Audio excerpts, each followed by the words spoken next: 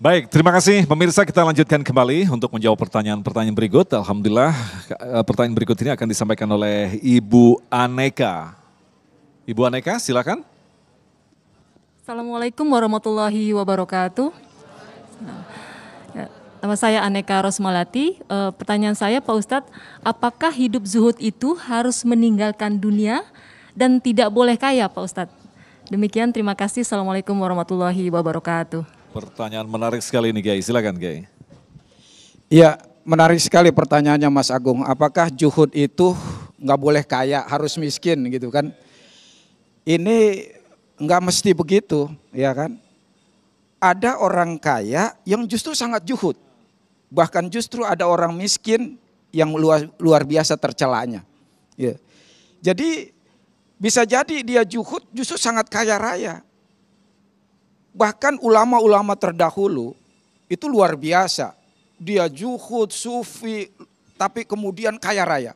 Banyak itu kalau kita lihat sejarah ada Syakik Al-Balkhi, ada Ibnu Arabi, ada Ibrahim bin Adham, ada Ibnul Mubarak, bahkan Ibnul Mubarak, Mas Agung, sebagai penghulunya para tabiin, zuhudnya luar biasa, sedekahnya setiap tahun itu sebanyak 60 miliar. Allahu Akbar. Setiap tahun. Artinya apa? Kaya luar biasa. Padahal dia ulama hebat dan sangat juhud. Bahkan Ibnu Al-Lais itu beliau hartanya setiap tahun dikalkulasi sebanyak 160 miliar. 80 dinar. Kalau kita ukur dengan kurs satu dinar 2 juta itu 160 dinar, ya, 60 miliar. Allahu Akbar. Artinya apa?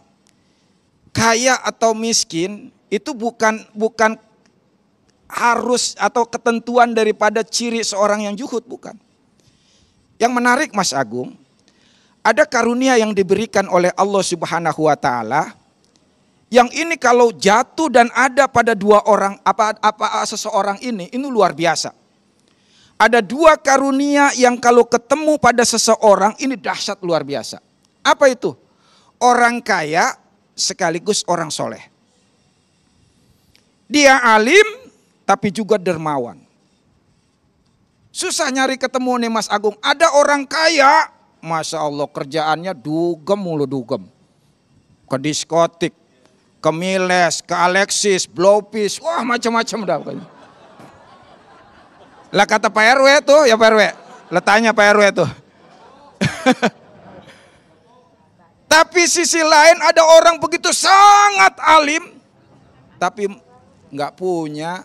Bukan cuma nggak punya, dia menyendiri, dia mengasingkan dari keramaian, nggak peduli dengan nasib orang lain.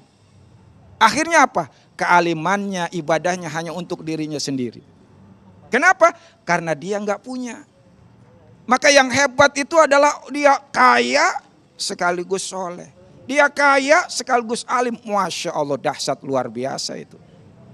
Karena memang di dalam agama kita justru jihad yang paling ditunggu, Jihad yang paling utama sebelum jihad nyawa, jihad, jihad harta. Coba lihat saudara di dalam surat As-Sof ayat 10 sampai 11. A'udzubillahi minasyaitonirrajim.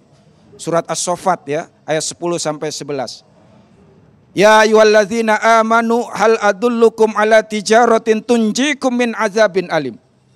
Wahai orang-orang beriman, maukah engkau aku tunjukkan sebuah perniagaan yang bisa menyelamat kamu dari ajab yang pedih. Apa itu?